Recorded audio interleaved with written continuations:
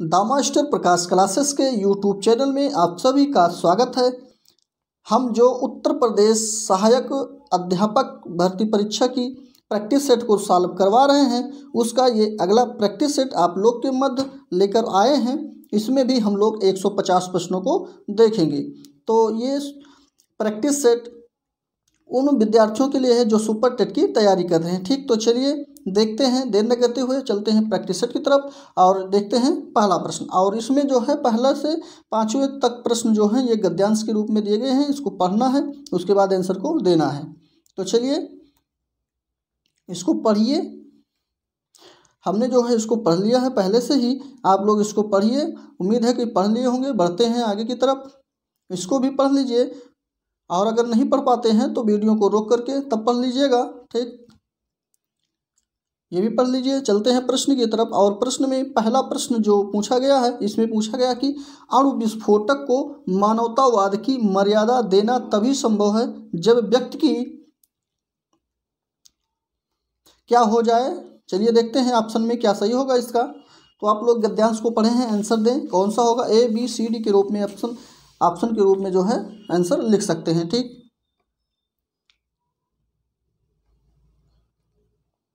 तो इसका कौन सा आंसर सही है? इसमें ऑप्शन नंबर सी आपका बिल्कुल राइट आंसर सही है इसका।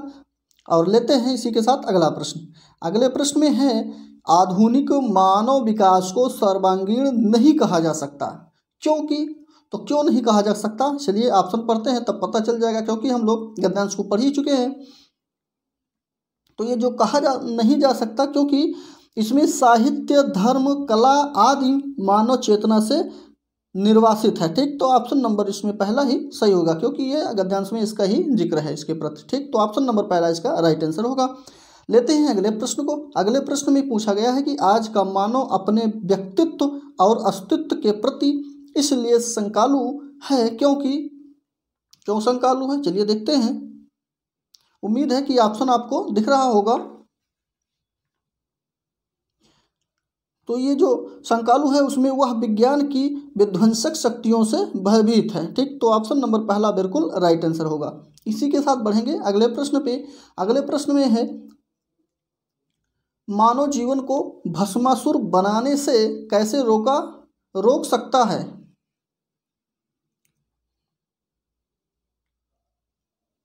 तो चलिए बताइए आप लोग, गद्यांश को पढ़ ही लिए हैं। बताइए इसका कौन सा आंसर होगा, बताते रहें आंसर कमेंट बॉक्स में आप लोग फटाफट आंसर लिखते रहें। तो इसमें ऑप्शन जो है डी सही होगा, क्योंकि नैतिक आत्मिक मूल्यों को विकसित करके जो है ये रोका जा सकता है। ठीक तो ऑप्शन नंबर डी बिल्कुल राइट आंसर होगा इसका। अगला प्रश्न लेते हैं, अगला प्रश्न। और ये इस गद्यांश का ये अंतिम प्रश्न है। इसमें कहा गया है कि हमारी विज्ञान धृत शिक्षा की सबसे अधिक महत्वपूर्ण देन क्या है? इम्पोर्टेंट प्रश्न है और इस प्रैक्टिस से वो क्या कहते हैं, गद्यांश का ये पांचवा प्रश्न है। इसमें जो ऑप्शन सही होगा वो सी है, जो कि जीवन का परिसीम अपरिसीम भौतिक विकास है, ठीक? जीवन का अपरिसीम जो है, ये भौतिक भौतिक जो है, विकास है। यही विज्ञान धृत शिक्षा की बहुत सबसे अधिक महत्वपूर्ण देन है। ऑप्शन नंबर सी आपका बिल्कुल राइट आंसर बन जाएगा यहाँ पे। इसी के साथ लेते हैं अगले प्रश्न को। अगले प्रश्न में है आपका, जो कि विलोम शब्द बताना है और वो शब्द है अर्वाचीन। तो अरबाचीन का विलोम शब्द क्या होगा? इस प्रश्न में यही पूछा गया है। चलिए, अब यहाँ से आप लोग को पाँच से दस सेकंड का समय मिलेगा आंसर देने के लिए कमेंट बॉक्स में। अगर देना चाहते हैं तो देने, दे, लिख लिख लिख सकते हैं। अन्यथा अपने मन में बनाते रहें आंसर जिससे आपको आंसर याद होता चले, ठीक? तो इसका इसका जो है जो विलोम शब्द होगा वो आपका हो जाएगा प्राचीन। अर्वाचीन का विलोम शब्द प्राचीन होता है याद रखिएगा। इसी के साथ बढ़ेंगे अगले प्रश्न को। अगले प्रश्न की तरफ़ और इस प्रश्न में है कौन सा शब्द तत्सम शब्द है? आ, आज है आँख है अग्र है या आग है? तो तत्सम बताना है आपको यहाँ पे।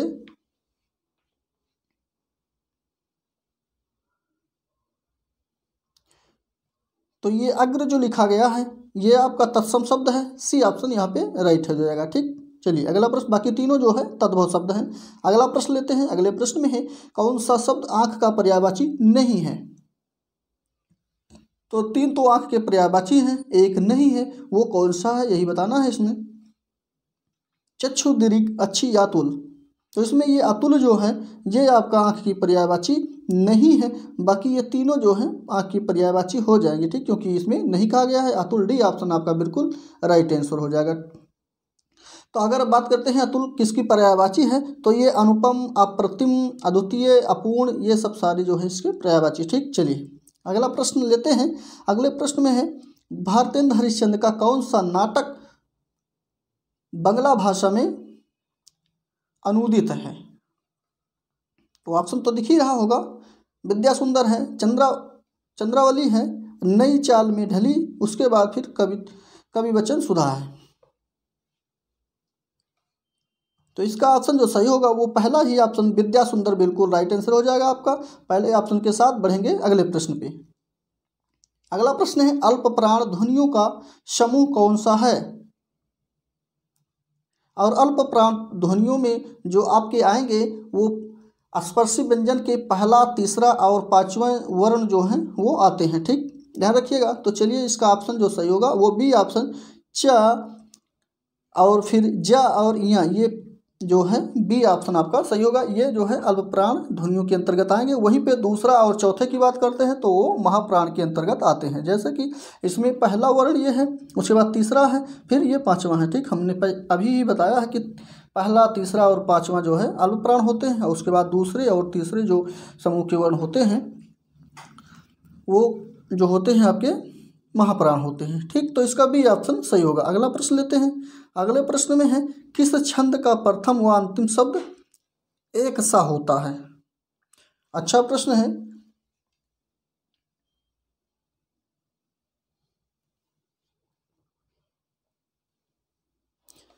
तो इसका ऑप्शन नंबर आपका पहला ही कुंडलियाँ जो लिखा गया है, ये कुंडलियाँ जो हैं, इसके पहले और अंतिम शब्द जो होते हैं, वो एक जैसे होते हैं। और इनमें कुल छः चरण होते हैं, ठीक है?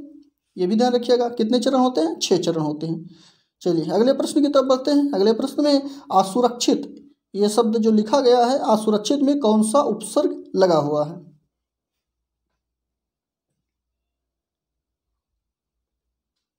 तो आपका जो मूल शब्द है वो है।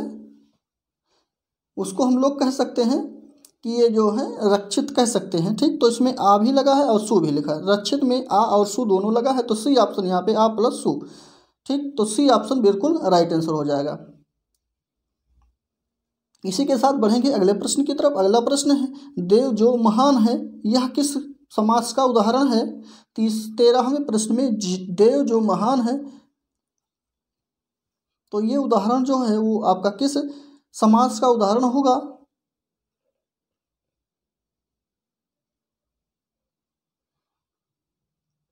तो ये समास ये समास जो है वो क्रमधारा समास का पहला ऑप्शन आपका बिल्कुल राइट आंसर हो जाएगा इसका। और इसी के साथ बढ़ेंगे अगले प्रश्न की तरफ़। अगले प्रश्न में है, अनुवीक्षण का संधि विच्छेद कौन सा है? संधि विच्छेद करना है इसमें।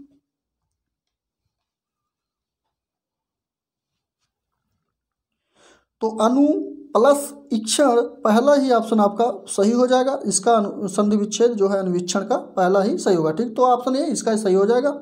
और इसी के साथ लेंगे अगले प्रश्न पे। अगले प्रश्न है, में कहा गया है कि बैल न कूदे कूदे तंगी। कहावत जो है, ये किस, ये कहावत का अर्थ क्या होगा?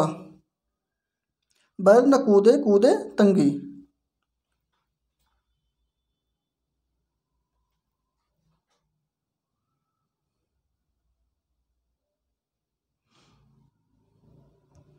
तो यहाँ पे आपका ऑप्शन डी सही हो जाएगा, क्योंकि स्वामी के बल पर सेवक को जो साहस होती है, उसको जो एहसास मतलब कह सकते हैं या गर्व होता है, वो डी ऑप्शन आपका बिल्कुल इसका जो है कहावत का अर्थ होता ठीक? डी ऑप्शन बिल्कुल राइट आंसर हो जाएगा। इसी के साथ बढ़ेंगे अगले प्रश्न। और इस प्रश्न में जो है ये संस्कृत के श्लोक लिखे गए हैं, इसको पढ़िए और उसके बाद जो है नीचे जो है इसका आंसर देना है, ठीक? सोलह से बीस तक। तो ये पहला, दूसरा, तीसरा जो लिखा गया है, पहले इसको पढ़ लेते हैं आप लोग। चलिए, उम्मीद है पढ़ लिए होंगे। उसके बाद फिर यहाँ पे दूसरा और तीसरा पढ़ेंगे। बढ़ेंगे अगले तरफ़। और आप लोग नहीं पढ़ पा रहे होंगे तो वीडियो को रोक करके पढ़ लीजिएगा। चलिए, और नीचे चलते हैं। उम्मीद है कि इसको भी पढ़ लिए होंगे।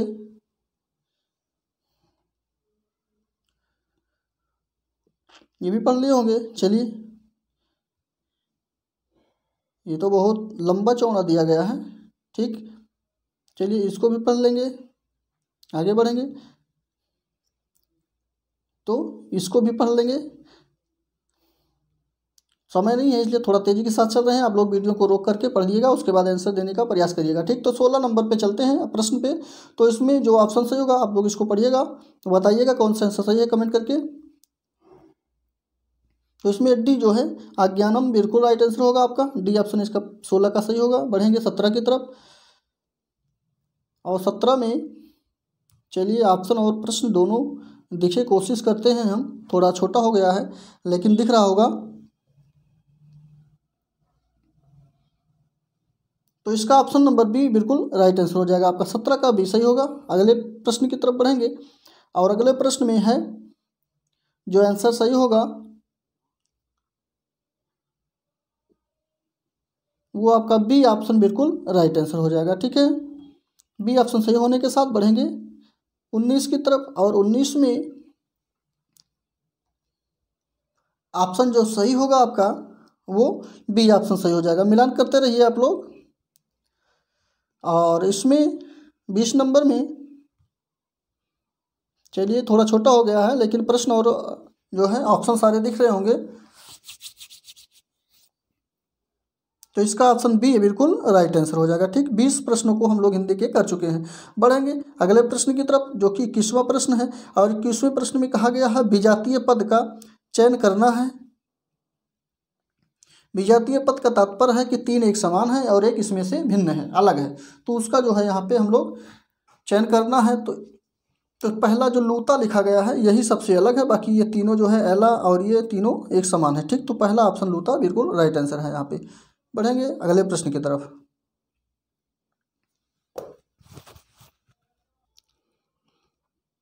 चलते हैं अगले प्रश्न पे। अगले प्रश्न में है, स्वर की विषमता होने पर भी वर्ण साम्य के कारण अलंकार कौन सा होता है?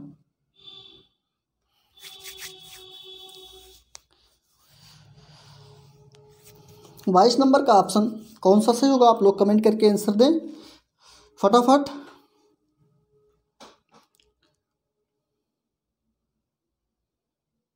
स्वर की विषमता होने पर भी जहाँ वर्ण साम्य होता है, वहाँ पे अनुप्रांश अलंकार होता है। ऑप्शन नंबर आपका डी, बिल्कुल राइट आंसर होगा इसका। डी अनुप्रांश अलंकार हो जाएगा। ठीक, चलिए अगला प्रश्न लेते हैं। अगले प्रश्न में है, अर्थो ही अन्य, अर्थो ही कन्या परकीय एवं उक्त अंश किससे संबंधित है? तो तेईस का ऑप्शन नंबर जो सही हो जाएगा, वो आपका बी ऑप्शन बिल्कुल राइट आंसर हो जाएगा। अभिज्ञान संत कुंतलम से ये लिया गया है, ठीक? ये लाइन जो आपकी अर्थो ही कन्या पर ही पर किए योम ये अभिज्ञान शकुंतलम से लिया गया है बी ऑप्शन आपका बिल्कुल राइट आंसर हो जाएगा। चलिए, अगले प्रश्न की तरफ़ तो बढ़ेंगे। अगले प्रश्न में है, संस्कृत शिक्षण में कठिन उच्चारण वाली ध्वनियों के लिए सबसे अधिक महत्वपूर्ण कौन सा है? बी ऑप्शन, दो ऑप्शन यहाँ पे दिख रहा है ए बी और चलिए चारों, उम्मीद है कि अब चारों ऑप्शन आपको दिख रहा होगा। तो इसमें जो सही है, वो कौन सा सही है? तो यहाँ पे सी ऑप्शन आपका, अभ्यास का सिद्धांत बिल्कुल राइट आंसर हो जाएगा, जो कि उच्चारण वाली ध्वनियों के लिए सबसे अधिक महत्वपूर्ण है। ठीक सी ऑप्शन आपका बिल्कुल राइट आंसर अगला प्रश्न है, अगले प्रश्न में है, आदि में जुड़ने वाले तथा अर्थ परिवर्तन करने वाले शब्दांश को क्या कहते हैं?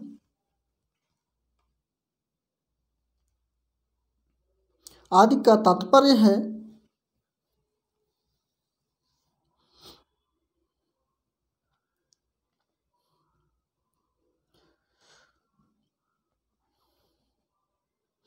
जो पहले लग जाते हैं शब्द के मूल शब्द, जैसे धातु जो है, जब से धातु शब्द जो है, उसमें मूल मूल शब्द में पहले जो शब्द लगते हैं, उसको उपसर्ग के रूप में जाना जाता है। यही आदि का तात्पर्य है, ठीक? तो इसमें डी ऑप्शन आपका बिल्कुल राइट आंसर हो जाएगा।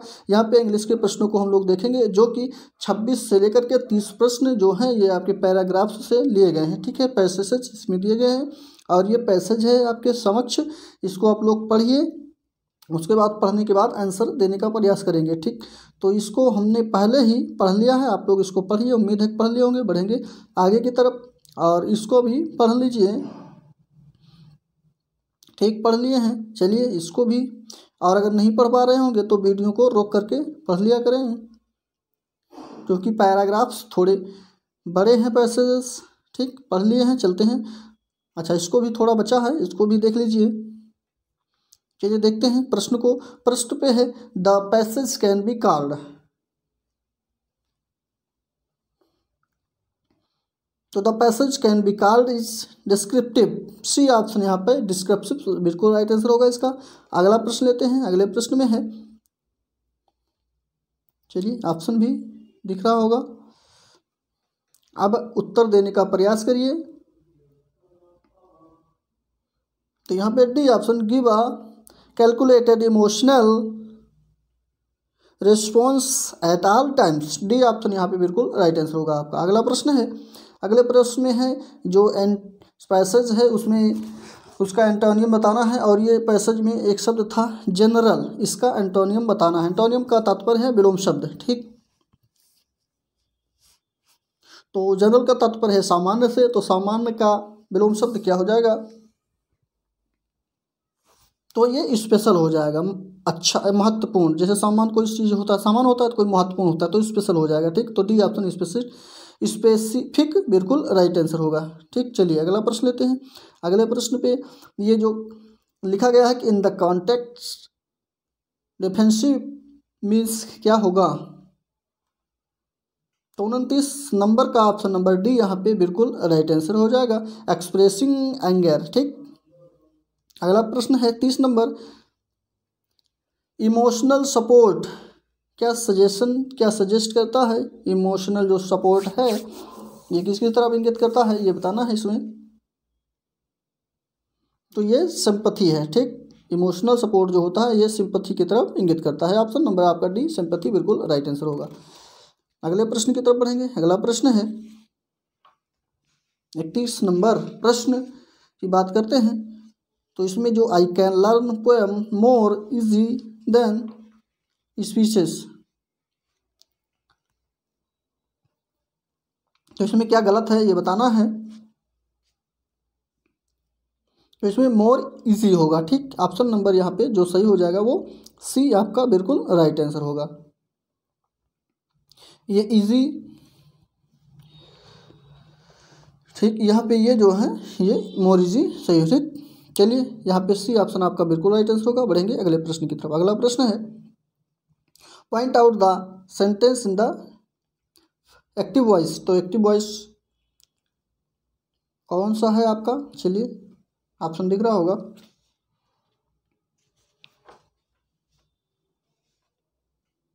तो पहला ही ऑप्शन यहाँ पे सही हो जाएगा, जो कि why did not why don't you have your eyes tested ठीक? पहला ही ऑप्शन बिल्कुल राइट आंसर है आपका। बढ़ेंगे अगले प्रश्न की तरफ़। अगले प्रश्न में जो खाली स्थान है, इसको आपको फिल करना है। तो यहाँ पे क्या फिल किया जाएगा, ये बताना है। चार ऑप्शन के रूप में आपको दिया गया है।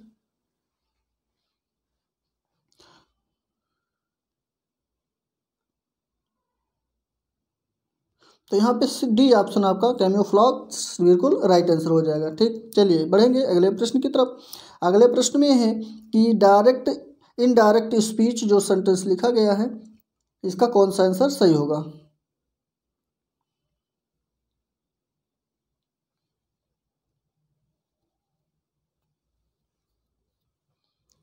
तो चौंतीस का ऑप्शन नंबर सी बिल्कुल राइट आंसर हो जाएगा, जो कि they invited me to go with them C option आपका यहाँ पे राइट आंसर होगा। इसी के साथ अगले प्रश्न पे चलेंगे। तो अगले प्रश्न में आपका ये जो स्पेस लिखा गया है, खाली स्थान यहाँ पे खाली है। यहाँ पे क्या भरना है, ये बताना है। होन है, देन है, देन होन देन देन बट तो यहाँ पे बी ऑप्शन देन भरा जाएगा, ठीक? Road then it began to ran heavily इसी के साथ अगला प्रश्न देखेंगे। अगले प्रश्न में है the correct feminine of Ram Ram का विलोम मतलब वो क्या कहते हैं, स्त्रीलिंग क्या होगा यहाँ पे, बताना है। सीता होगा टोई होगा, यू होगा या फिली होगा। तो इसमें आप छत्तीस नंबर का ऑप्शन जो सही होगा वो सी। राम का जब फेमिनिन बनाएँगे तो ई डब्ल्यू ई जोड़ देंगे तो फेमिनिन बन जाएगा, ठीक है? चलिए, अगला प्रश्न लेते हैं। अगले प्रश्न में है तो इस सेंटेंस को कंप्लीट करना है। स्पेस के स्थान पे क्या भरा जाएगा? चारों ऑप्शन है। सामने। पहला ऑप्शन इसका योर्स बिल्कुल राइट आंसर है। अगला प्रश्न लेते हैं। अगले प्रश्न में है यहाँ भी आपका फिल इन द ब्लैंक करना है, यानी खाली स्थान को भरना है। आन हो, होगा या टू होगा इन होगा या बाई होगा। तो ऑप्शन तो दिख ही रहा है आपको। तो इसमें भी ऑन भरा जाएगा। ठीक। Incited on seeing the documents option number पहला ऑन बिल्कुल राइट आंसर है। अगले प्रश्न की तरफ़ बढ़ेंगे। अगले प्रश्न में है। Correct reported from the from of the given sentence तो इसमें Ravi said to his friends उसके बाद कामा और फिर इन्वर्टेड कामे के अंदर लिखा गया है वर्क हार्ड तो कौन सा इसका ऑप्शन सही होगा? चलिए। दिख ही रहा होगा ऑप्शन उम्मीद है कि सारे ऑप्शन आपको अच्छी तरह से दिख रहे हैं। तो यहाँ पे जो इसका हो जाएगा वो Ravi advise to his friends to work hard ठीक तो ऑप्शन नंबर सी बिल्कुल राइट आंसर है। इसी के साथ बढ़ेंगे अगले प्रश्न पे। अगले प्रश्न में फिगर आप स्पीच के विषय में बताना है, जो कि हर, पूछा गया है कि her mother to upon his accusation felt a pleasing distress तो ये कौन सा पार्ट ऑफ़ स्पीच है? फिगर ऑफ़ स्पीच पूछा गया है। पार्ट ऑफ़ स्पीच नहीं है, फिगर ऑफ़ स्पीच है यहाँ पे।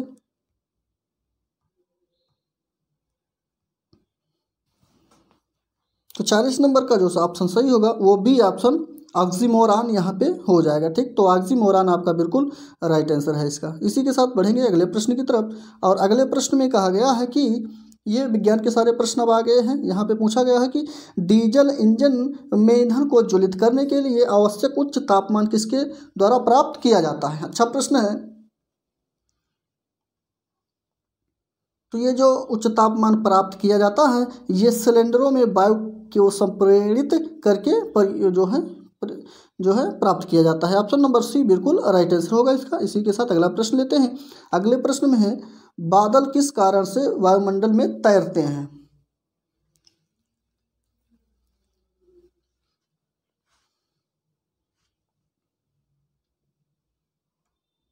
तो बादल जो बने होते हैं, आपके ये जो है पानी की नन्हे नन्हे छोटे छोटे कणों से बने होते हैं, जिसका घनत्व जो होता है बहुत कम होता है, ठीक? इसी वजह से बादल हल्के हो जाते हैं और आसमान में यानी वायुमंडल में तैरते रहते हैं। तो यहाँ पे बी ऑप्शन निम्न घनत्व के कारण ऐसा होता है, ठीक? बी ऑप्शन आपका बिल्कुल राइट आंसर है। और अगले प्रश्न को लेते हैं। अगले प्रश्न में है ये इंसोलेशन जो लिखा गया है, जिसको आप लोग आपतन कहते हैं, इसका अर्थ क्या है?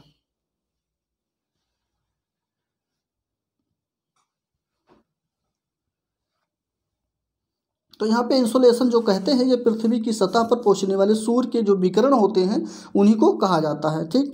तो यहाँ पे ऑप्शन आपका बिल्कुल बी सही हो जाएगा, आपतित सौर किरण। ऑप्शन नंबर बी आपतित सौर किरण, बिल्कुल राइट आंसर होगा। इसी के साथ लेते हैं अगले प्रश्न को। अगले प्रश्न में है, किस अभिक्रिया द्वारा रक्त का शुद्धिकरण किया जा सकता है? डायलिसिस है, विद्युत परासरण है, स्कंदन है या छनन है? छानन। है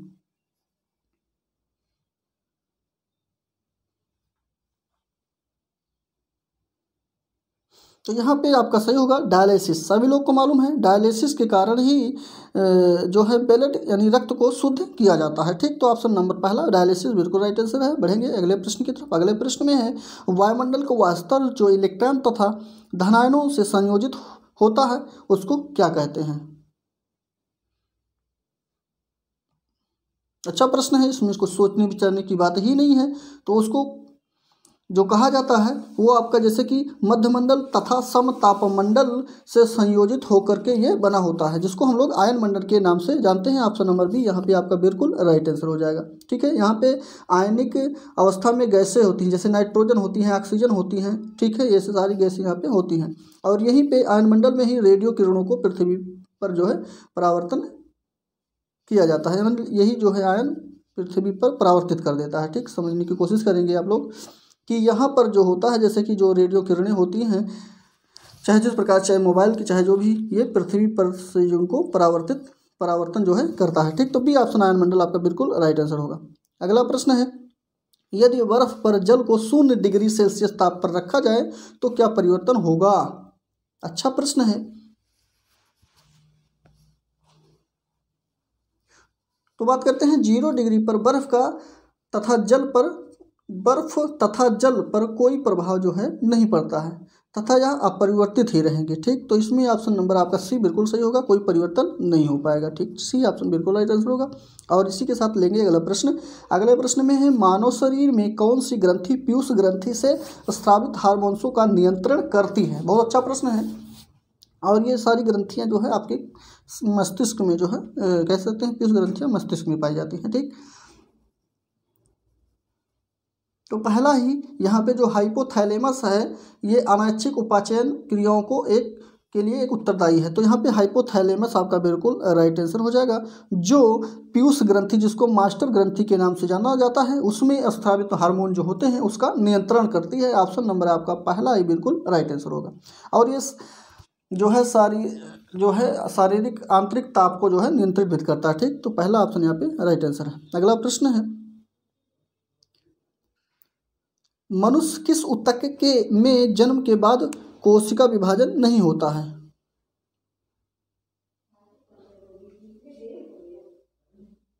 फोर्टी एट का ऑप्शन नंबर बी बिल्कुल राइट आंसर होगा, तंत्रिका तंत्र। अगले प्रश्न की तरफ़ पढ़ेंगे मानव शरीर की सबसे बड़ी मिश्रित ग्रंथि कौन सी है? मिश्रित ग्रंथि का तात्पर्य है वाह और आंतरिक ग्रंथि। ठीक तो इसमें ऑप्शन नंबर कौन सा सही होगा? तो ये अग्नाशय ग्रंथि जो है आपकी, ये आंतरिक और वाह दोनों ग्रंथियाँ होती हैं, इसलिए इसको मिश्रित ग्रंथि के नाम से जाना जाता है। ऑप्शन नंबर सी बिल्कुल राइट आंसर है।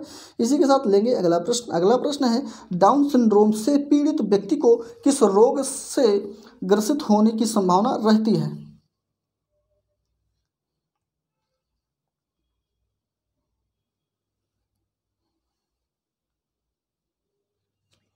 तो यहाँ पे ऑप्शन नंबर आपका जो पचास का है, वो बी बिल्कुल सही हो जाएगा। अल्जाइमर रोग से वो पीड़ित होने की संभावना सबसे अधिक रहती है। ठीक? ऑप्शन नंबर बी बिल्कुल राइट आंसर हो जाएगा।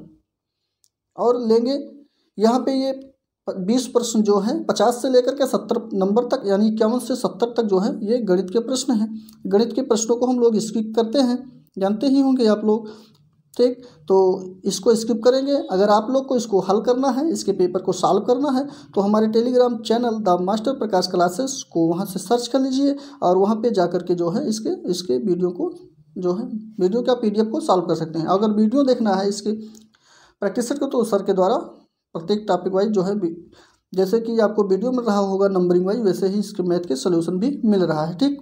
तो वहाँ से वीडियो को भी देख सकते हैं, जो कि शार्ट माध्यम से मैथ को सॉल्व कराया जा रहा है। तो इसमें लेते हैं सेवेंटी वन प्रश्न को, जो पर्यावरण एवं सामाजिक अध्ययन का प्रश्न है। तो इसमें पूछा गया है कि सारनाथ का लायन कैपिटल किस शासक से संबंधित है? अच्छा प्रश्न है। तो कनिष्क है अशोक, बिंबसार या शिशुनाग बहुत अच्छा प्रश्न है। लायन कैपिटल के बारे में यहाँ पूछा गया है जो किससे संबंधित है? तो ये जो संबंधित है वो आपका अशोक से संबंधित है। बी ऑप्शन आपका अशोक बिल्कुल राइट आंसर हो जाएगा, ठीक? और ये जो है अशोक के शासनकाल में बनाया भी गया था, ठीक? चलिए अगला प्रश्न लेते हैं सेवेंटी टू को। सेवेंटी टू में यानी बहत्तर नंबर में पूछा गया कि संसार में सबसे पहले बारूद का आविष्कार कहाँ हुआ था?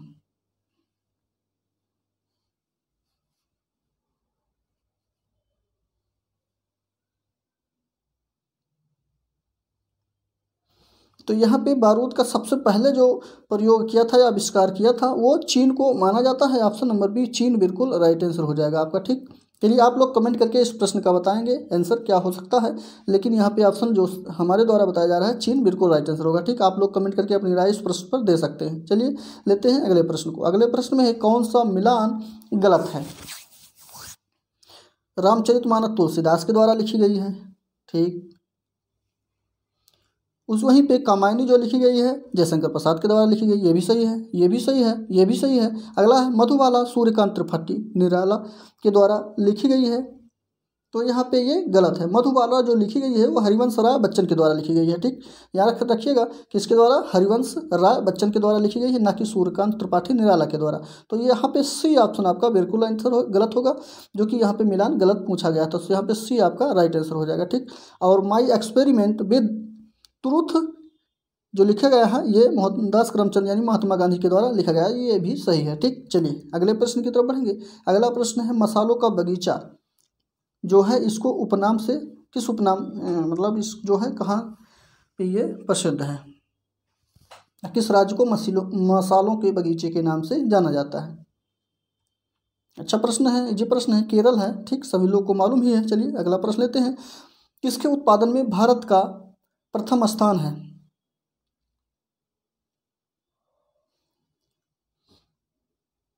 लौह इस्पात, दूध, खनिज तेल या चावल। सेवेंटी फाइव का ऑप्शन नंबर बी, दूध के उत्पादन में उत्तर जो है भारत का स्थान प्रथम है, लेकिन वहीं उत्तर प्रदेश, अपने उत्तर प्रदेश की बात करते हैं तो उत्तर प्रदेश पूरे देश में, यानी पूरे भारत में पहले स्थान रखता है दूध उत्पादन में, ठीक? तो यहाँ पे बी ऑप्शन दूध, बिल्कुल राइट आंसर होगा आपका। इसी के साथ लेंगे अगला प्रश्न। अगला प्रश्न है, रिफ्ट घाटी किसका परिणाम है? भूकंप का, वलन का या अपर्दन का? ये सभी का। तो रिक्त घाटी जो है, ये भूकंप, वलन तथा अपर्दन जैसी आंतरिक एवं बाह्य क्रियाओं का परिणाम होता है। ऑप्शन नंबर यहाँ पे डी बिल्कुल सही हो जाएगा, जो कि ऑप्शन ये सभी सही हो जाएँगे। ठीक? चलिए अच्छा प्रश्न था, इसी के साथ लेंगे अगला प्रश्न। अगले प्रश्न में कौन सा मंगल, कौन सा मंगल बुद्ध शुक्र के समान है? तारे हैं, उपग्रह हैं, ग्रह हैं या चंद्रमा है? इसका तात्पर्य प्रश्न का यह है कि ये मंगल बुद्ध शुक्र जो है, ये क्या हैं? ठीक, सीधा ऐसा पूछना चाहिए था, लेकिन थोड़ा प्रश्न को घुमाया है कि आप लोग कन्फ्यूज़ हो जाए, लेकिन आप लोग को कन्फ्यूज़ तो होना ही नहीं है, ठीक? तो ये क्या है? ये एक ग्रह है, ठीक? ये यहाँ सी ऑप्शन ग्रह सही हो जाएगा। अच्छा चलिए अगले तरफ़ चलते हैं। तो यहाँ पे है, राज्य में आपातकाल के समय राज्य का शासक जो है, शासन किसके हाथ में रहता है? यदि किसी राज्य में आपातकाल लग जाता है तो उस समय शासन किसके हाथ में या किस राज्य की देखरेख कौन करता है, इस प्रश्न में यही बताना है आपको।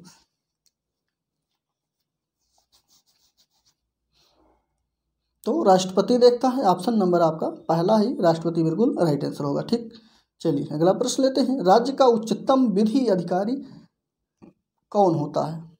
Attorney general advocate general solicitor solicitor solicitor general या विधि विभाग का सेक्रेटरी जनरल तो यहाँ पे एडवोकेट जनरल जो है, ये आपका सबसे उच्चतम अधिकारी होता है राज्य का ऑप्शन नंबर सी बी जो है, बिल्कुल राइट आंसर एडवोकेट जनरल ठीक? चलिए, अगला प्रश्न लेते हैं। अगले प्रश्न में है, आर्थिक समस्याएँ मुख्यतः किसके कारण उत्पन्न होती हैं? आर्थिक समस्या की बात किया जा रहा है, यहाँ पे ध्यान दीजिएगा। तो इसमें पहला जो अत्याधिक जनसंख्या हो जाएगी तो यहाँ पे आर्थिक जनसंख्या सबसे अधिक प्रभाव डालेगी तो ऑप्शन नंबर पहला बिल्कुल राइट आंसर होगा। अगला प्रश्न है शिक्षण कौशल का है, जो जिसमें पूछा गया है, आपके विद्यालय में ऐसे छात्र भी पढ़ते हैं, जो अपने घर वालों को धनार्जन में हाथ बटाते हैं। धनार्जन में हाथ बटाने का तात्पर्य है कि कुछ पैसे कहीं ना कहीं किसी न किसी माध्यम से वो भी जो है कमाते हैं, ठीक? हाँ तो इसलिए ये छात्र पढ़ाई या गृह कार्य आदि पर यथोचित ध्यान नहीं दे पाते हैं। तो ऐसे छात्रों के लिए क्या करना चाहिए? चलिए देखते हैं ऑप्शन। उम्मीद है कि ऑप्शन दिख रहा होगा आपको। तो इसमें ऑप्शन नंबर पहला ही आपका सही हो जाएगा, जो कि मानवीय दृष्टिकोण अपनाएँगे और प्रोत्साहन तथा सहायता देकर उनका मनोबल भी बढ़ाते रहेंगे, जिससे कि उनकी पढ़ाई न रुकने पाए। ठीक तो ऑप्शन नंबर पहला बिल्कुल राइट आंसर हो जाएगा। इसी के साथ लेंगे अगला प्रश्न, और अगले प्रश्न में है कि विद्यार्थी जो पहले सीख चुके हैं, उसकी पुनरावृत्ति और प्रत्यास्मरण में विद्यार्थियों की मदद करना महत्वपूर्ण है। क्यों महत्वपूर्ण है? इसमें यही पूछा गया है।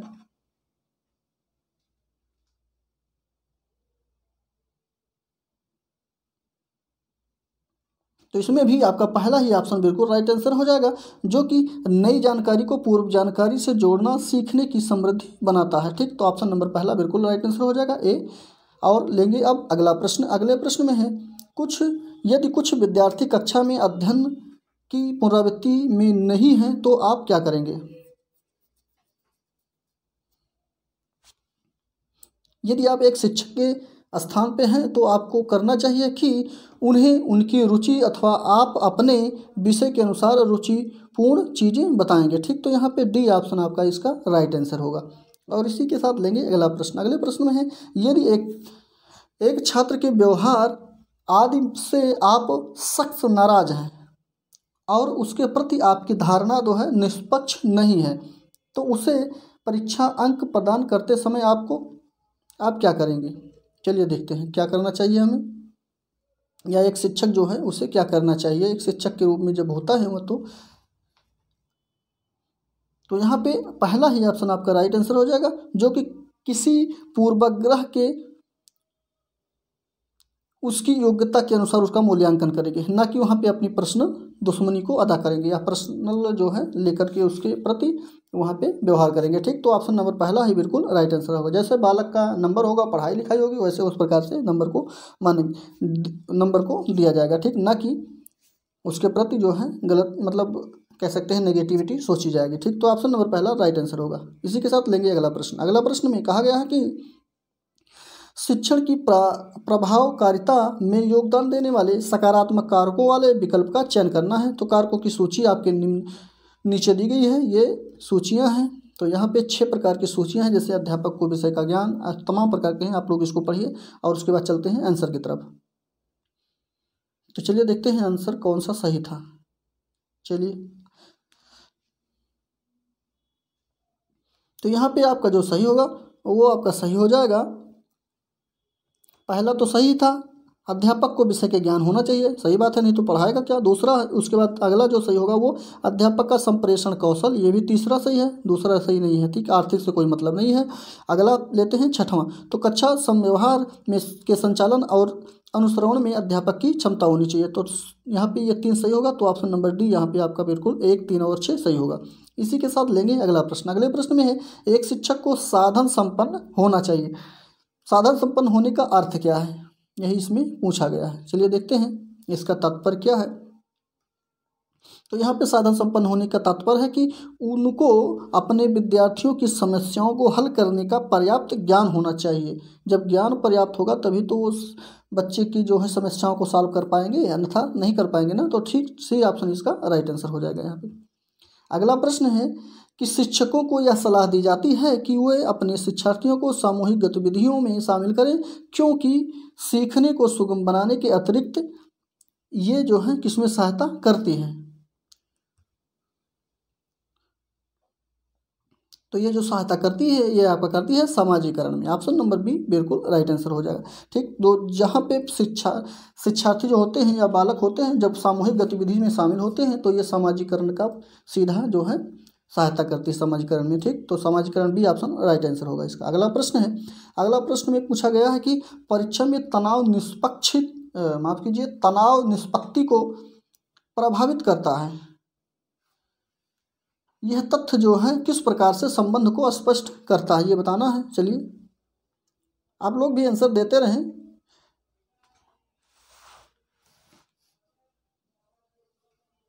तो इसका पहला ऑप्शन संज्ञान भावना बिल्कुल राइट आंसर हो जाएगा। ठीक, चलिए अगले प्रश्न की तरफ़ बढ़ेंगे। अगला प्रश्न है, आधुनिक शिक्षण अधिगम प्रक्रिया में शिक्षक की भूमिका कैसी होनी चाहिए? ऑप्शन और आंसर आपको दिख जाए, इसलिए हम थोड़ा छोटा कर दे रहे हैं। तो इसमें भी पहला ही सही होगा, जो कि सीखने हेतु एक अच्छे सुलभकर्ता की भूमिका निभानी चाहिए, निभाती है। ठीक तो ऑप्शन नंबर पहला सही होगा। अगला प्रश्न है, शैक्षिक निर्देशन किस कक्षा में दिया जाना हितकारी होता है?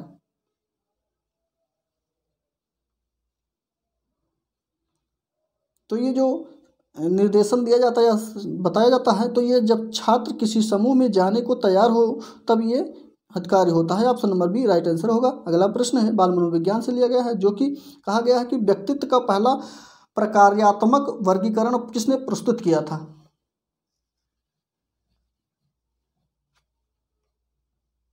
तो यहाँ पे जो प्रस्तुत किया गया था, ये आपके हिपोक्रेटस के द्वारा, क्रेटर्स के द्वारा जो है प्रस्तुत किया गया था। ऑप्शन नंबर सी यहाँ पे बिल्कुल राइट आंसर है। अगला प्रश्न है, कौन सा पिछड़ेपन का कारण नहीं है?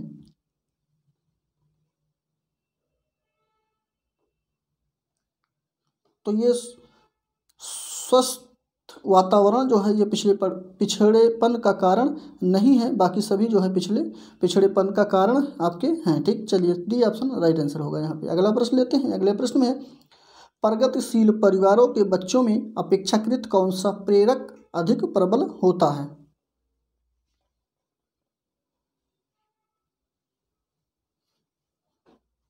तो इसमें जो अधिक प्रबल होता है, वो उपलब्धि होती है। ऑप्शन नंबर सी उपलब्धि बिल्कुल राइट आंसर हो जाएगा यहाँ पे। इसी के साथ चलेंगे अगले प्रश्न की तरफ़। और अगला प्रश्न में है बुद्धि लब्धि संप्रत्यय किसने विकसित किया है? ये बताना है इस प्रश्न में।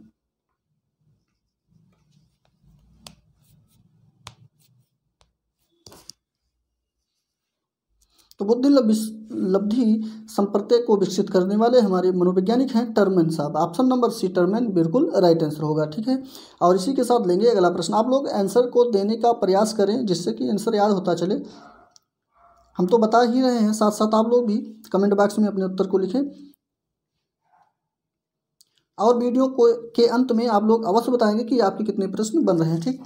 जैसे नहीं लिख पा रहे हैं कमेंट बॉक्स में, कोई बात नहीं, लेकिन अपने मन में भी आंसर बनाते रहेंगे। ठीक तो चलिए नाइन्टी फाइव का देखते हैं कौन सा ऑप्शन सही होगा, जो कि चिंतन प्रारंभ होने के लिए क्या आवश्यक है। तो यहाँ पे समस्या जो है, ये सबसे आवश्यक है। यदि आपको समस्या नहीं होगी तो आप चिंतन कैसे करेंगे? तो कोई समस्या हो जाएगी तो आप उस पर विचार करेंगे, चिंतन करेंगे। ठीक तो डी ऑप्शन चिंतन समस्या बिल्कुल राइट आंसर है। अगला प्रश्न है, व्यक्तिगत भेद पाए जाते हैं।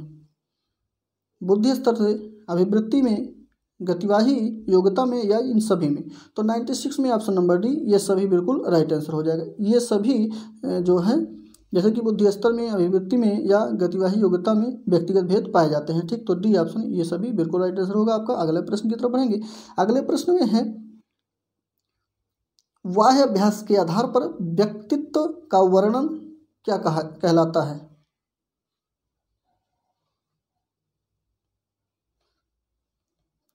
तो ये सतही दृष्टिकोण कहलाता है, ठीक? तो बी ऑप्शन आपका सतही दृष्टिकोण, बिल्कुल राइट आंसर है। अगला प्रश्न है, स्पेस है, उसके बाद मस्तिष्क की संरचना तथा तथ्यों में, तथा कथ्यों में विभेद का परिणाम क्या होना चाहिए? तो यहाँ पे ये जो डिसलेक्सिया है ये ऑप्शन आपका बिल्कुल राइट आंसर हो। जैसे कि डिसलेक्सिया मस्तिष्क संरचना तथा कथनों में विभेद का परिणाम होता है। सी ऑप्शन बिल्कुल राइट आंसर होगा इसका। इसी के साथ बढ़ेंगे अगले प्रश्न पे। अगला प्रश्न है, तनाव को कम करने के अप्रत्यक्ष ढंग क्या कहलाते हैं?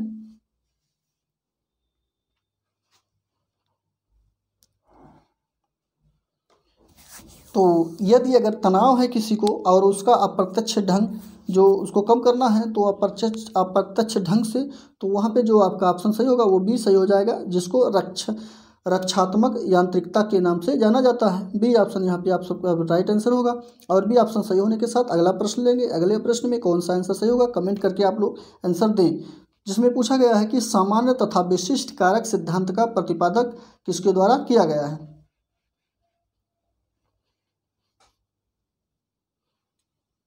तो ये जो है, सामान्य तथा विशिष्ट कारक का सिद्धांत जो दिए हैं, ये स्पेयरमैन के साथ, स्पेयरमैन के द्वारा दिया गया था। ऑप्शन नंबर बी, बिल्कुल यहाँ पे राइट आंसर हो जाएगा। और द्विकारक सिद्धांत, त्रिकारक सिद्धांत भी इन्हीं के द्वारा दिया गया। ये भी ध्यान रखिएगा। चलिए लेते हैं अगला प्रश्न।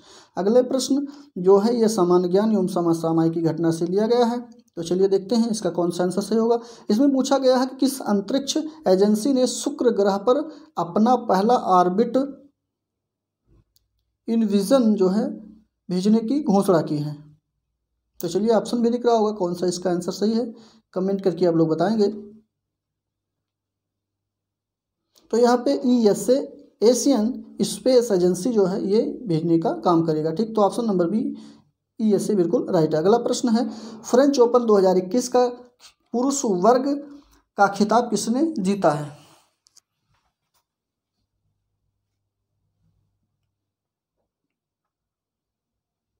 तो यहाँ पे फ्रेंच ओपन 2021 का खिताब जो पुरुष वर्ग का जीता है, वो नोवाक जोकोविच के द्वारा जीता गया है। ऑप्शन नंबर बी बिल्कुल राइट आंसर है। अगला प्रश्न है, हाल ही में भारत ने किस देश के साथ कृषि क्षेत्र में तीन वर्ष के लिए ज्वाइंट कार्यक्रम का समझौता किया है? इजराइल है, ईरान है, सऊदी अरबिया है, या यूएई है, संयुक्त अरब अमीरात। तो इसमें इजराइल के साथ जो है समझौता किया गया है। ऑप्शन नंबर पहला, इजराइल, राइट आंसर होगा। अगला प्रश्न लेते हैं। अगले प्रश्न में है Y U V A P M Yuva P M योजना किस मंत्रालय की पहल है? ठीक, शिक्षा मंत्रालय, स्वास्थ्य मंत्रालय, विदेश मंत्रालय या रक्षा मंत्रालय का ये पहल है। तो यहाँ पे युवा पीएम योजना जो पहल की गई है, ये शिक्षा मंत्रालय के द्वारा की गई है। ऑप्शन नंबर पहला, शिक्षा मंत्रालय आपका राइट आंसर होगा। इसी के साथ लेंगे अगला प्रश्न। अगला प्रश्न है, केंद्र सरकार ने हाल ही में किस भारतीय राजनेता के जन्म दिवस को पराक्रम दिवस के रूप में मनाने का निर्णय लिया गया है? अच्छा प्रश्न है, और पराक्रम दिवस के रूप में जो दिवस मनाया जाता है, ये भी आपको बताना है, ठीक?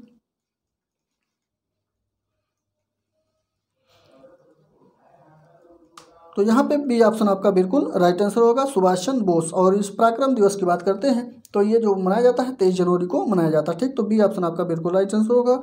अगला प्रश्न है, राष्ट्रीय युवा दिवस 2021 की थीम क्या रही?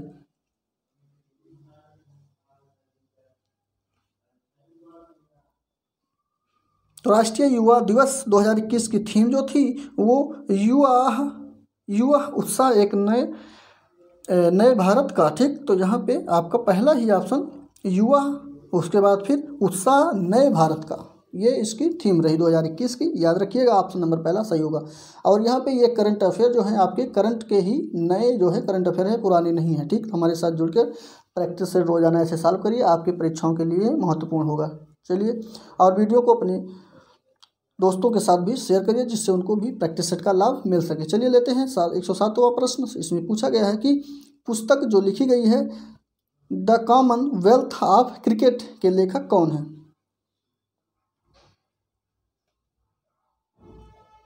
The commonwealth of cricket के लेखक जो है, Ramachandra Guha. Option number C बिल्कुल राइट आंसर है। रामचंद्र गुहा के द्वारा इसको लिखा गया है। ठीक ऑप्शन नंबर सी यहाँ पे बिल्कुल राइट आंसर हो जाएगा आपका। और इसके साथ लेंगे अगले प्रश्न को। अगले प्रश्न में पूर्वोत्तर भारत का पहला खेलो इंडिया स्पोर्ट स्कूल का उद्घाटन किस राज्य में किया गया है? ये भी इम्पोर्टेंट प्रश्न है। ये भी जो है, बनने के लिए इसको जो है, इसका उद्घाटन किया गया है। तो ये कौन सा राज्य है? तो ये असम राज्य माफ़ कीजिए असम नहीं है। यहाँ पे मेघालय राज्य है। सी ऑप्शन आपका मेघालय में ही इसका उद्घाटन किया गया। ठीक, ऑप्शन नंबर सी बिल्कुल राइट आंसर है। लेंगे अगले प्रश्न को। अगले प्रश्न में कहा गया कि पश्चिम बंगाल में जल परिवहन में सुधार के लिए हाल ही में भारत सरकार ने किस संस्था के साथ ऋण समझौता किया है?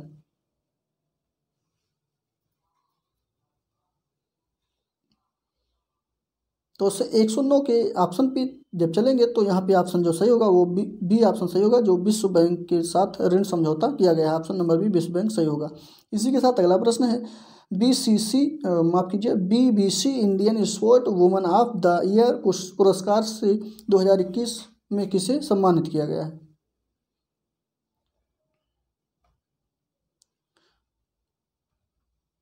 तो BBC Indian sport woman of the year 2021 से जो सम्मानित किया गया है, कोनेरी हम्पे को जो है सम्मानित किया गया है। सी ऑप्शन यहाँ पे राइट आंसर हो जाएगा आपका। और लेंगे अगला प्रश्न। अगले प्रश्न में हाल ही में दुनिया की सबसे बड़ी तैरती हुई सौर ऊर्जा परियोजना का निर्माण किस नदी पर किया गया है? और ये अपने भारत में ही है, लेकिन दुनिया की सबसे बड़ी तैरती हुई सौर ऊर्जा परियोजना है, ये भी ध्यान रखिएगा। ये दो देशों के संपर्क से जो है मेल से बना है। एक भारत है और एक अलग देश है, ठीक है? तो यहाँ पे जो ऑप्शन सही होगा वो सी ऑप्शन नर्मदा नदी पे बनाया गया है। आपका सी ऑप्शन नर्मदा नदी सही हो जाएगा। अगला प्रश्न है, हाल ही में किस राज्य सरकार के द्वारा लॉन्च पैड योजना की शुरुआत की गई है?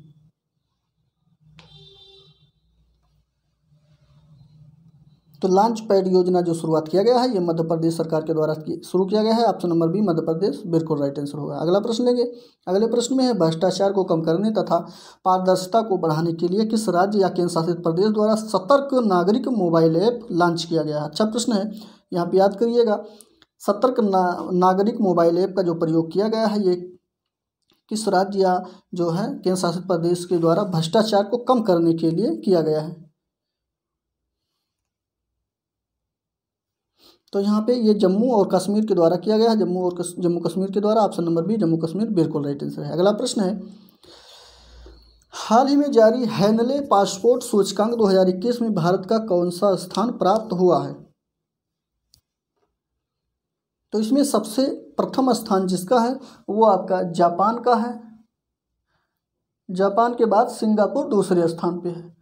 लेकिन इसमें भारत का स्थान पूछा गया है। आपको भारत का स्थान बताना है, ठीक है? तो भारत का स्थान जो है वो आपका चौरासीवां स्थान होगा यहाँ पे। सी ऑप्शन आपका बिल्कुल राइट आंसर होगा। इसी के साथ लेंगे अगले प्रश्न को। अगला प्रश्न है, जनवरी 2021 में संयुक्त राष्ट्र द्वारा जारी रिपोर्ट के अनुसार सबसे ज़्यादा भारतीय प्रवासी किस देश में स्थित हैं? और ये जो है आपके खाड़ी देशों में स्थित हैं, ठीक? जैसे कि कह सकते हैं, अरब, सऊदी अरब, अरबिया, ये सब देश जो हैं, यहीं पे ज़्यादा जो है भारतीय स्थित हैं। और उसका अगर नाम लेते हैं तो यहाँ पे संयुक्त अरब अमीरात हो जाएगा ऑप्शन नंबर सी बिल्कुल राइट आंसर होगा। यहीं पे जो है सबसे अधिक भारतीय प्रवासी हैं, ठीक? सी ऑप्शन संयुक्त अरब अमीरात राइट आंसर अगला प्रश्न लेते हैं। अगले प्रश्न में है संरक्षण क्षमता महोत्सव, जिसको सक्षम के नाम से जाना जाता है। 2021 का आयोजन किस मंत्रालय के द्वारा इसको किया गया है? तो ये पेट्रोलियम मंत्रालय के द्वारा इसको किया गया है। इसका आयोजन ऑप्शन नंबर सी जो है, बिल्कुल राइट आंसर है। ठीक, चलिए अगला प्रश्न है। हाल ही में रेलवे बोर्ड के नए अध्यक्ष योम सीओ के रूप में किसे नियुक्त किया गया है?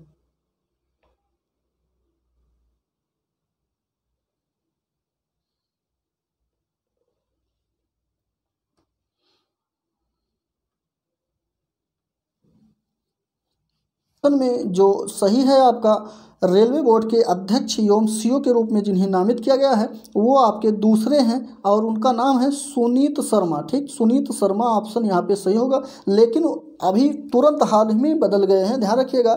तो यहाँ पे जो तुरंत अभी तत्काल ये भी हट गए हैं, इनके स्थान पे जो आए हैं, वो विनय कुमार तिवारी जो हैं, आए हैं। ऑप्शन नंबर बी इसके, लेकिन इसका ऑप्शन सही होगा क्योंकि यहाँ पे दिया नहीं गया है विनय कुमार तिवारी, लेकिन आप लोग ध्यान रखिएगा कि विनय कुमार तिवारी जो है वर्तमान में प्रजेंट टाइम पे अध्यक्ष और सीईओ के रूप में पदभार संभाले रखे हैं रेलवे बोर्ड का, ठीक? तो यहाँ पे ऑप्शन सही तो भी होगा, लेकिन ये वर्तमान में है नहीं, ठीक? हट गए हैं। चलिए, अगले प्रश्न की तरफ़ बढ़ेंगे। अगला प्रश्न है, देश में खिलौने के निर्माण के विकास को बढ़ावा देने के लिए किस मंत्रालय के द्वारा टैगथान 2021 का शुरुआत किया गया है? तो इसमें डी ऑप्शन जो कि उपरोक्त सभी के द्वारा ये किया गया है, जैसे कि शिक्षा मंत्रालय, महिला एवं बाल विकास मंत्रालय और कपड़ा मंत्रालय, आज सभी मंत्रालयों के द्वारा जो है ये किया गया है। चलिए अगला प्रश्न की तरफ़ बढ़ेंगे। अगले प्रश्न में है, भारत के पहले इथेनॉल संयंत्र की स्थापना किस राज्य में की गई है? की जाएगी, ये बताना है। तो इसमें ये छत्तीसगढ़ राज्य के द्वारा जो है, इसकी स्थापना किया जाएगा। ऑप्शन नंबर जो है बी, छत्तीसगढ़ सही होगा। अगला प्रश्न है, हाल ही में किसे तमिलनाडु का एक अड़तीसवां ज़िले के रूप में उद्घाटन किया गया? तो तमिलनाडु का जो अड़ता, अड़तीसवां जिला है, वो आपका है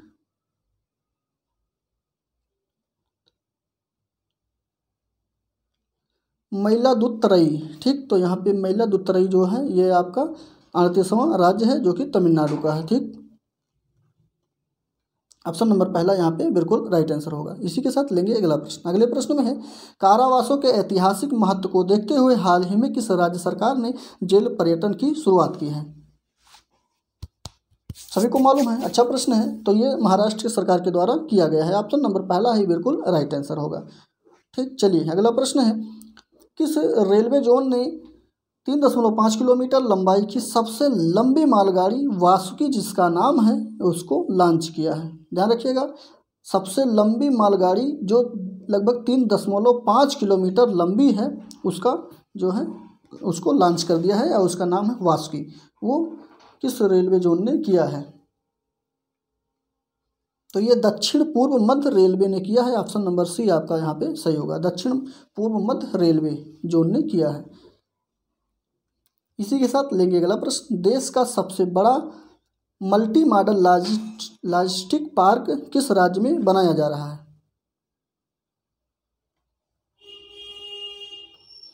तो ये जो बनाया जा रहा है, ये आपका बनाया जा रहा है अहमदाबाद में। ठीक? ये देश पूरे भारत का सबसे बड़ा जो है मल्टी मल्टी मॉडल लास्टिक लॉजिस्टिक पार्क होगा, ठीक? ऑप्शन नंबर बी बिल्कुल राइट आंसर है। यहाँ पे इसी के साथ अगला प्रश्न है। पहले प्रश्न को पढ़ लेते हैं, क्यों? अच्छा साथ में लेते हैं।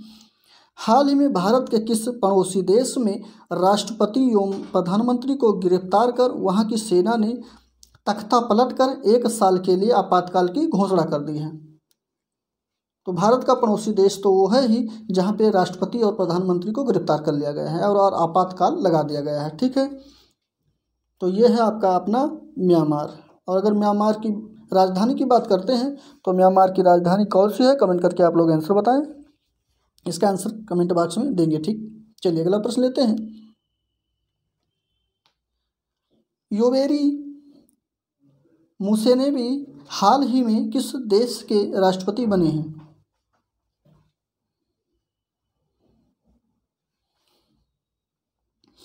तो म्यांमार की राजधानी जो है, वो नैपीता है, ठीक है? ध्यान रखिएगा नैपीदा नैपीता कहीं कहीं मिलेगा, नैपीताओ कहीं कहीं मिलेगा, ठीक? ध्यान रखिएगा। तो एक सौ पच्चीस में ऑप्शन नंबर जो नए राष्ट्रपति बने हैं, वो देश है आपका युगांडा, ठीक? ऑप्शन नंबर जो है, सी बिल्कुल राइट आंसर है। इसी के साथ लेंगे अगला प्रश्न। अगले प्रश्न में है, हाल ही में गुलाम मुस्तफ़ा खान का निधन हो गया। तो ये गुलाम मुस्तफ़ा खान जो हैं इनका संबंध किस क्षेत्र से है? साहित्य से, शास्त्रीय संगीत से या चित्रकला से या मूर्ति कला से? तो यहाँ पे इनका संबंध जो है वो शास्त्रीय संगीत से है। ऑप्शन नंबर बी आपका बिल्कुल राइट आंसर हो जाएगा यहाँ पे। और इसी के साथ लेंगे अगला प्रश्न। अगले प्रश्न में, हाल ही में किन दो देशों की वायुसेनाओं के बीच ex desert knight twenty one, यानी नाइट ट्वेंटी वन युद्ध अभ्यास का आयोजन किया गया है? और ये आपके उत्तर प्रदेश के पीलीभीत में इसका आयोजन भी हुआ है, ये भी ध्यान रखिएगा। कभी कभी स्थान भी पूछ लेता है।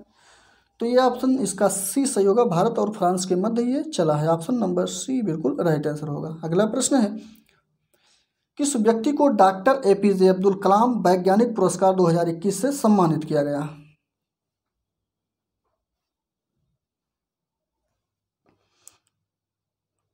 तो ये अमित केसरवानी को सम्मानित किया गया है। Doctor A P J Abdul Kalam वैज्ञानिक पुरस्कार 2021 से। Option number C, Amit Kesarwani बिल्कुल राइट आंसर है इसका, इस प्रश्न का। और इसी के साथ अगला प्रश्न है, शहर को पॉलीथीन मुक्त बनाने के लिए किस नगर निगम ने के द्वारा थैला बैंक की शुरुआत की गई है? अच्छा प्रश्न है और पुराना करंट अफेयर भी है, लेकिन ये इंपॉर्टेंट है, क्योंकि अपने उत्तर प्रदेश से जुड़ा हुआ है और ये लखनऊ है। ऑप्शन नंबर पहला ही लखनऊ बिल्कुल राइट आंसर हो जाएगा।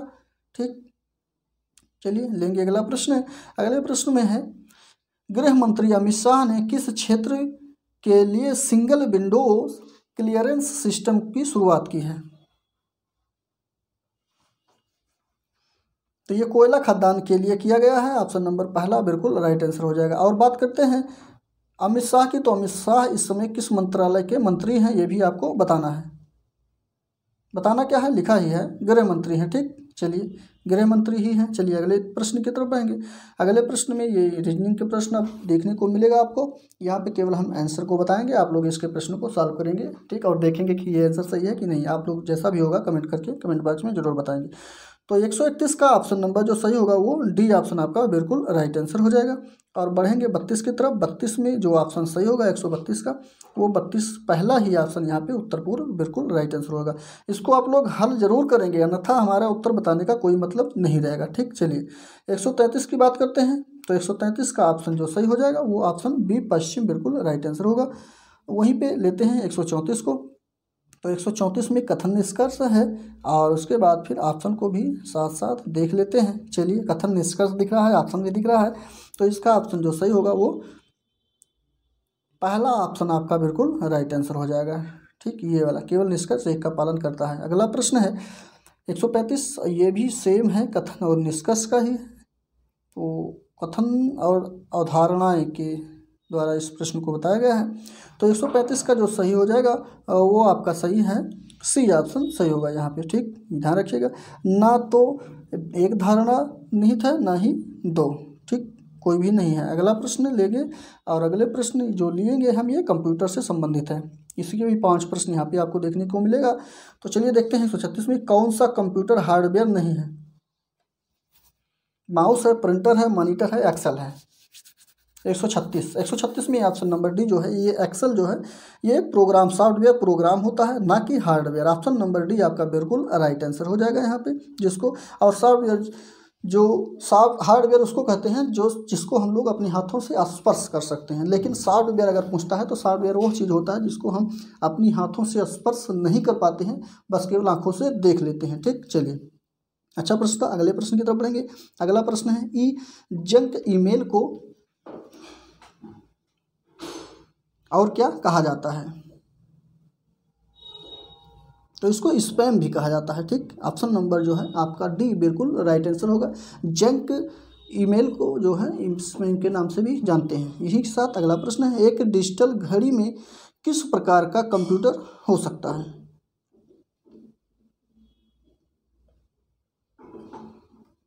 तो यहाँ पे जो डिजिटल घड़ी होती है, उसमें जो कंप्यूटर हो सकता है एम्बेडेड कंप्यूटर उसको उसमें हो सकता है option number D embedded computer बिल्कुल राइट आंसर हो जाएगा, ठीक? और यह डिजिटल घड़ी के रूप में जानी जाती है। इसी के साथ अगला प्रश्न है ईमेल पते के दो भाग कौन कौन से होते हैं? चलिए ऑप्शन भी दिख रहा होगा। तो इसमें जो दो भाग होते हैं, वो पहला ऑप्शन सही होगा, वो उपयोगकर्ता का नाम एवं डोमेन का नाम होता है, ठीक? ऑप्शन नंबर यहाँ पे डी बिल्कुल राइट आंसर होगा। अगला है मेन्यू में किसकी सूची होती है? एक सौ चालीस में मेनू में जो सूची होती है वो किसकी सूची होती है?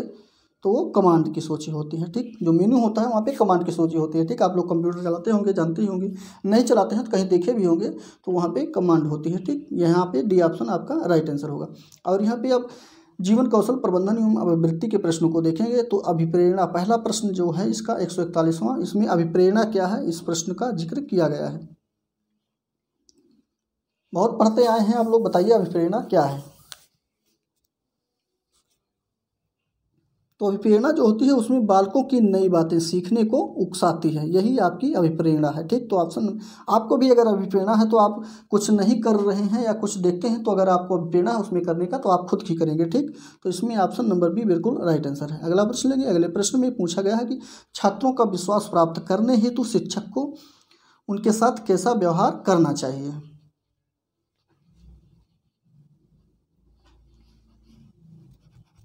तो इसमें जो शिक्षक को उनके साथ व्यवहार करना चाहिए, वो मित्र जैसा व्यवहार करना चाहिए, ठीक है? तो ऑप्शन नंबर मित्र जैसा व्यवहार करना चाहिए बी यहाँ पे बिल्कुल राइट आंसर हो जाएगा, जिससे छात्रों का विश्वास उनको प्राप्त हो जाए। ऑप्शन नंबर बी बिल्कुल राइट आंसर था इसका। इसी के साथ लेंगे अगला प्रश्न। अगले प्रश्न में पूछा गया है कि भय और दंड का प्रभाव बच्चों को अनुशासनहीन बना सकता है, सही बात है? तो इस कथन से आप क्या समझते हैं?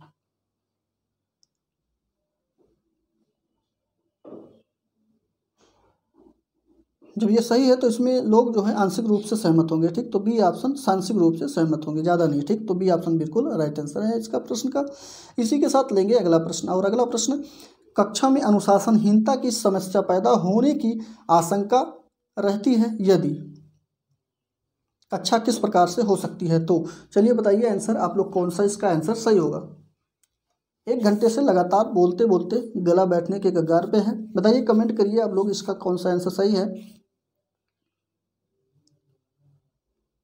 तो यहाँ पे बी ऑप्शन बिल्कुल राइट आंसर हो जाएगा आपका। जो बच्चों को व्यस्त रखने के लिए पूरा काम न दे काम न दिया जाए, यहाँ पे जो है सबसे ज़्यादा आशंका रहती है। ठीक तो ऑप्शन नंबर बी आपका बिल्कुल राइट आंसर हो जाएगा इस प्रश्न का। और इसी के साथ लेते हैं अगला प्रश्न। अगले प्रश्न में है, अच्छे पारिवारिक परिवेश वाले बच्चों ही आगे बढ़ पाते हैं। इस संदर्भ में आपका मत क्या है? ऐसा कुछ नहीं है। हाँ ये है कि वो थोड़ा सही होते हैं, लेकिन ये ऑप्शन जो है, देखते हैं पहले किस प्रकार से ऑप्शन दिया गया है, बिना पढ़े कैसे बताया जाए भाई। तो चलिए देखते हैं ऑप्शन नंबर इसका जो सही होता है वो, कौन सा सही होगा? बात तो सही है, लेकिन इसमें क्या होता है कि जब परिवार अच्छा होगा तो उसका परिवेश जो होगा, वहाँ पे झगड़े, लड़ाई नहीं देखने को मिलेगा, ठीक? तो इसलिए वो जो है सही हो जाएँगे। ठीक तो ऑप्शन नंबर यहाँ पे सी बिल्कुल राइट आंसर है इसका। इसी के साथ लेंगे अगला प्रश्न और अगले प्रश्न में है, अध्यापक को अपने उस छात्र पर गर्व करना चाहिए। किस छात्र पर गर्व करना चाहिए भाई? चलिए देखते हैं, चारों ऑप्शन तब बताते हैं कि किस प्रकार का बालक है जिस पर गर्व करना चाहिए। तो यहाँ पे पहला, दूसरा, तीसरा सभी सही हैं तो डी, तीनों तो सही नहीं होगा तो इसलिए उपयुक्त सभी सही हो जाएँगे, यानी कि ऑप्शन नंबर डी यहाँ पे राइट आंसर है। ठीक उपयुक्त सभी। इसी के साथ अगला प्रश्न है। कक्षा में बच्चों की शारीरिक भाषा पर नज़र रख, रखने से हम यह जान सकते हैं कि, क्या जान सकते हैं? कि वह बच्चा पढ़ाई में ध्यान नहीं लगा रहा है। ठीक, ये जान सकते हैं। ऑप्शन नंबर बी यहाँ पे राइट आंसर है। चलिए अगला प्रश्न लेते हैं। अगले प्रश्न में है, शिक्षक को शिक्षा शिक्षण के दौरान इस बात का पूरा ध्यान रखना चाहिए कि, क्या इस बात का ध्यान रखना चाहिए?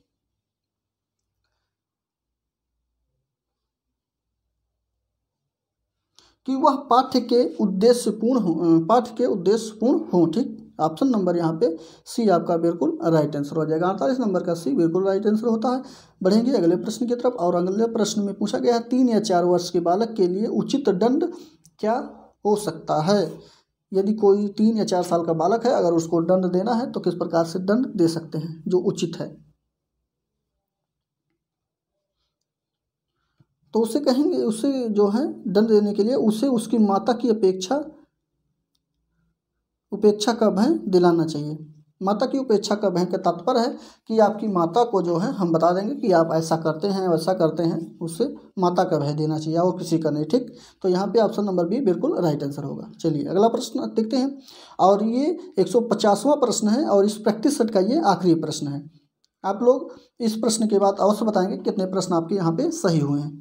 तो चलिए लेते हैं प्रश्न को पहले।